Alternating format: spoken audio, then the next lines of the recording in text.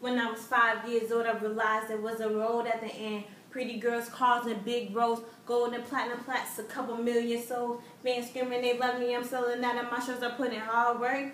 You don't give it your all, then it won't work. Been waiting on this day, Zeus give me birth. Gotta believe in yourself, you gotta know your worth. I did it clean as a whistle, stayed away from dirt. I told you I'ma get it. Everybody they talking, I dreamt about how I living. Reality was written, put effort into my vision. That's why I hustle so hard to be the best that ever did it. Whoa.